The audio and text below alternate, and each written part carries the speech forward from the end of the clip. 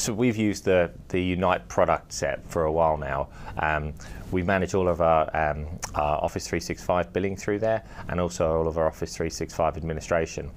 One of the things that I think is, is great is when we get feedback from engineers who've just joined the business. When they say to me, this is, you know, I've worked in an MSP before and we had to do this and then we had to do that. And then they see how simple we make it using the Unite product. And that they're saying, you know, this is great. I, I haven't got to keep going into different systems to go and work with this client. I'm just able to do it all from within the ConnectWise Manage interface. Um, so it's a great piece of feedback from people when they, they join the business that they're, they're happy with the business systems that, that we have in our own business. Um, and also from a, a billing and an admin perspective, again, it just streamlines the whole process.